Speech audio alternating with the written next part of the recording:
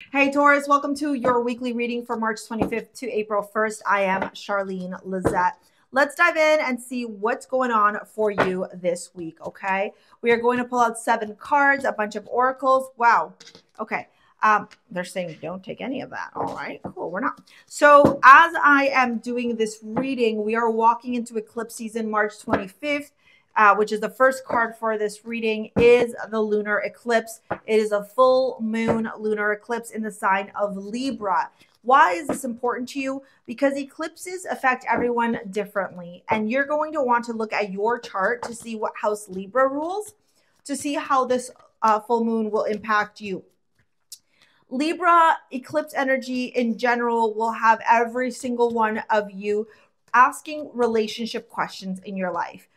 Um, am I attracting healthy relationships? What kind of relationship patterns do I have? Am I happy in my current relationship? Is it time to walk away? Am I ready to enter into a new relationship? All those all those conversations um you know or those thoughts will show up during this time all right Really interesting energy here. One, two, three, four, five, six, seven. Beautiful. Lots of fiery energy here. Okay. I am seeing something very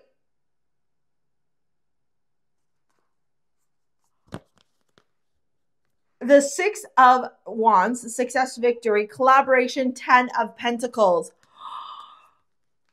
Okay well let's just first oh my god i haven't even pulled out all the cards. I'm so excited i don't even know where to start. This is amazing. Okay, this is you. You're the ten of you're the pentacles, right? Earth sign. And this is fire. We're in fire season right now, right? Aries season. You will be victorious in every single one of your business pursuits when you put your heart and soul into it. You understand that? Discipline, structure, routine, planning, strategy, manifesting. Be so committed that it becomes your reality, Taurus. This is amazing. I love, love, love, love, love this for you on so many different levels. This is incredible. This is, I don't even think you can comprehend right now how big this is, but you got to put in the work. Okay? You have to. All right. Crazy energy here. Let's dive in to the rest of these cards, dive into your reading. We start off with the King of Wands. I really like this during um, Aries season because the King of Wands is representative by a fire sign.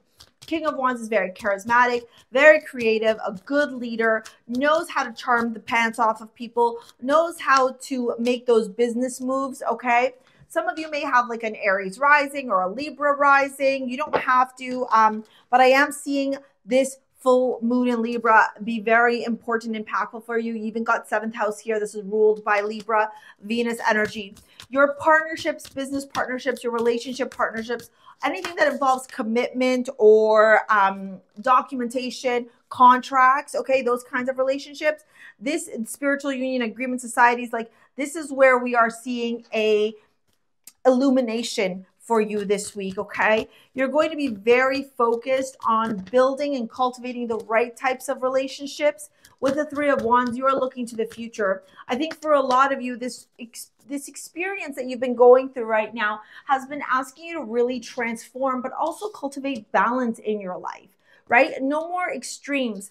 For example, what could that look like in real life for some of you? Um, maybe some of you were stay at home moms and all you ever did was take care of your kids and take care of the house. And now you're venturing off into the workforce or vice versa. All you ever did was work, work, work. And now you're learning how to practice more stillness to stay more rooted and grounded at home. Maybe some of you always give, give, give to others, but you don't give to yourself. So you're learning now to create more self love. Be a little bit selfish. And during Aries season, it's the best time to be selfish not in a way that hurts others, but in a way where you're filling your own cup. If my cup is empty like it is right now, how can I give you water? I got nothing.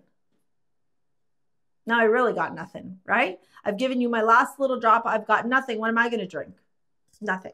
You have to always make sure that your cup is full, okay? That is the message for this week. And funny enough, temperance has the two cups balancing more balance here. You know, I really, before I get rest into your tarot, I really want to talk about this card here because I think there's a lot of messages to be received with this card. Child of the cosmos, the intelligence of the universe lies within you. Tune in, Taurus. Tune into your higher self. Tune into your emotions. Tune into your feelings. Tune into the truth. Stop thinking about being performative to be received well.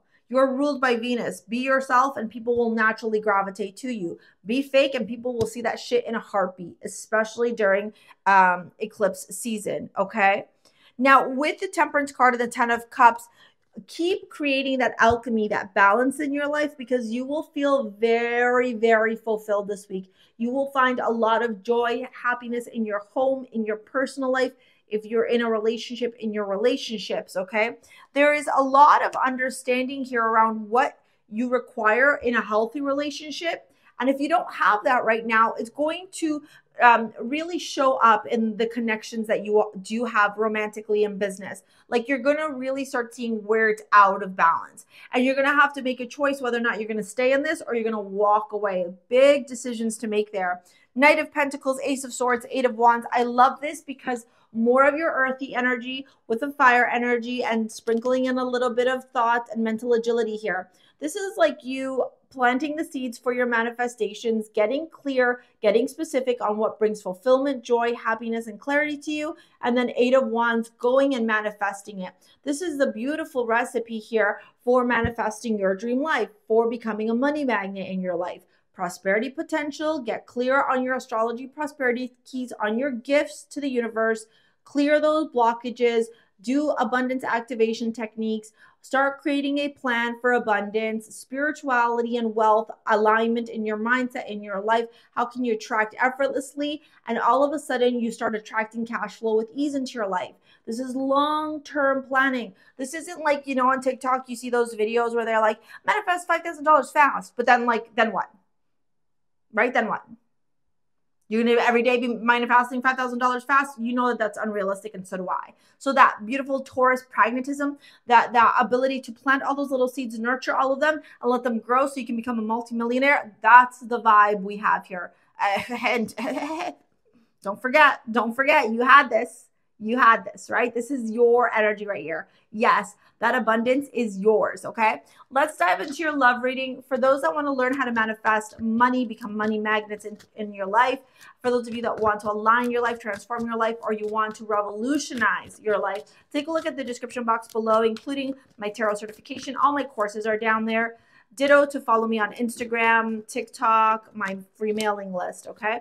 Beautiful energy here with the unrequited love. Love yourself first. Raven's going crazy too. So codependency. Woo! Oh, calling yourself beautiful. Oh, and Vulcan. I think somebody from the past is going to try and come back. I've got a feeling somebody from the past is going to try and come back. And this is where the growth happens, where you turn around and you tune into this Vulcan energy, passion, vigor, vitality, energy. And you're like, no, no, you are not passionate. You don't love me. You don't respect me. You don't honor me. I'm not taking you back. Let's see this unrequited love here. One card, please, for unrequited love. No, one card, I said. One card.